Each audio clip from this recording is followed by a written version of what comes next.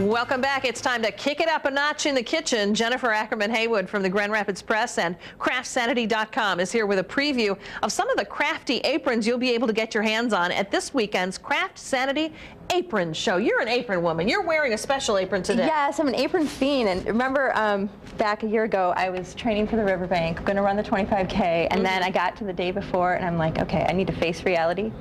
I'm not ready for this race. And I downgraded to the 10K. Yes. And so I made this apron to distract myself and ran in it. Yes. Had a great time, and now I run all my road races in aprons. And that led to, um, I actually, this apron got me a spot on the Riverbank Run Road Warrior team this year. I love it. And I was paired with a charity partner, Safe Haven Ministries.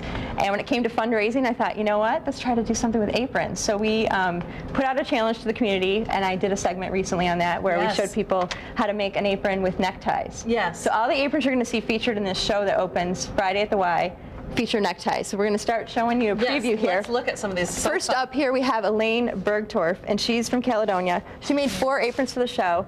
This first apron here mm. is fantastic because she took a men's necktie. She kind of made the top look like a shirt. Yes, um, a men's I love shirt, it. and the bottom is very feminine with that um, flounce, and that's going to be up for auction. So uh, come nice. on out Friday and find out how you can put your bid in for that. The yin and yang apron. Yes. Okay. Next up we have Kona wearing, she's wearing a cotton apron here. The, the, necktie is around the neckline and also around the pockets. So it's a very nice uh, fun apron. And it's got rickrack. I love rickrack. You got to have some rickrack. Yes. So this show will feature some rickrack too. Good. Ne next up we have Lizzie wearing a really fun Don't Bug Me apron. Oh, that is embroidered word. on the necktie and there's a little uh, insect there um, pinned on. Yeah. And that bottom, you, if you want to go for kind of a Halloween effect, as you can see, these aprons are very different. Yes. Very, very different. So, and this one's by Laura Bartleson of Caledonia, who also oh made several aprons for the show. Did she hand stitch those those webs on there? Those oh no, webs? no, that's actually like a plastic. Oh. Like a like a. It's so if you spill, you're all set. Just wipe it off. Very cool. Next up, we have um, Susan wearing a design by Betty White.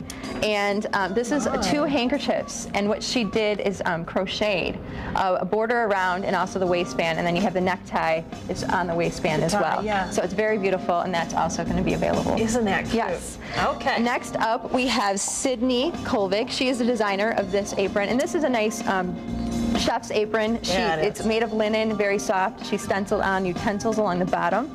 And the, what I really love about this is there's a casing along the side, so it's adjustable. So the oh, neck yeah. the neck is adjustable. A lot of times you put these on and they're too big. Yes. It's, she thought of everything here. So very thank you, nice. Sydney.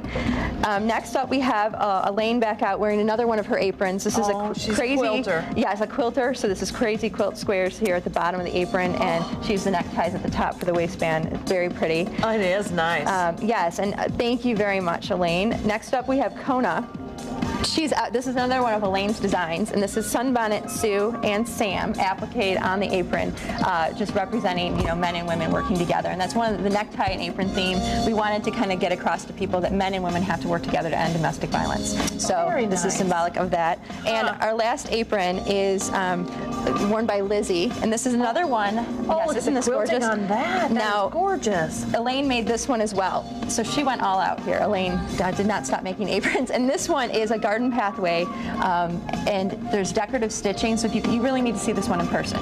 So come yeah. on out and see it on Friday night at the Y. It but, looks spectacular on TV, but even better in person. Yeah, yeah. And so at 6:30, um, we're going to get things started with the bidding at the Y, mm -hmm. and then um, the program, short program, starts at seven. We're going to have pie and um, it's just going to be a fun time. It and sounds wear like your aprons. Event. Come out in an apron. I'd love to see that. So okay, yeah.